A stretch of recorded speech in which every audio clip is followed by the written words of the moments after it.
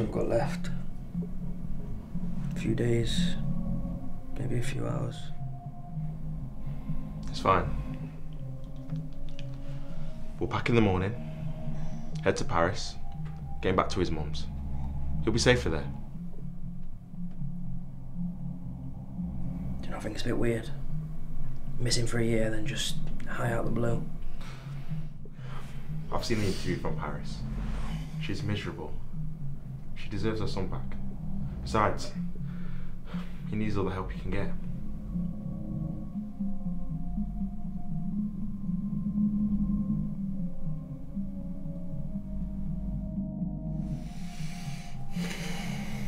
She replied? It's been like four days. No, but there's hardly any signal in here anyway.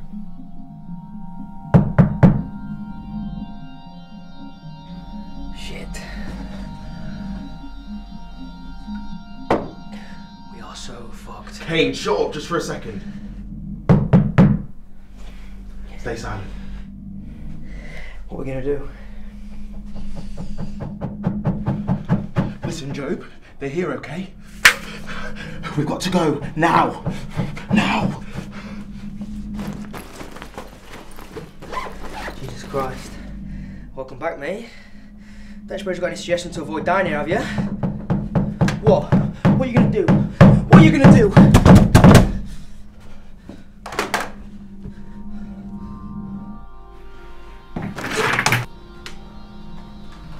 Hey, hey, hey! What are you doing? Look at what you're doing. Are you fucking nuts? Put the gun down. Please. I just want it all to stop. Look at me. We can run. Start afresh. You've got so much to live for, I promise. Start afresh. You must be joking. It's over. It's done. Look at yourself. This isn't what Sophie wanted for you. Hey, it's okay. Look at me. It's okay. Be with her. Be with her. Do it. Do the right thing. Do it. Do it. Do it!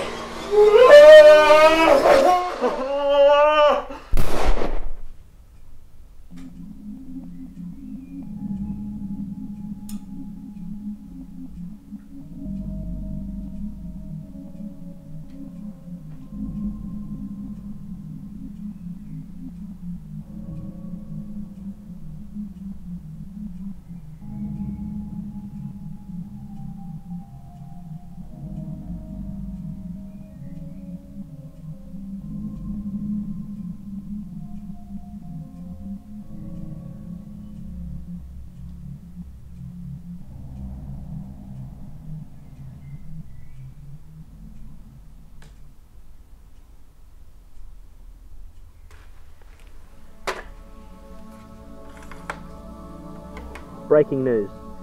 It has been confirmed that missing persons Job Aker has been found dead. Reported suicide is what we are being informed of.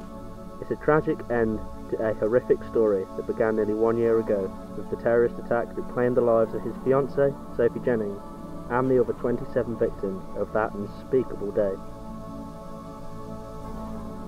And now, back to our scheduled programming.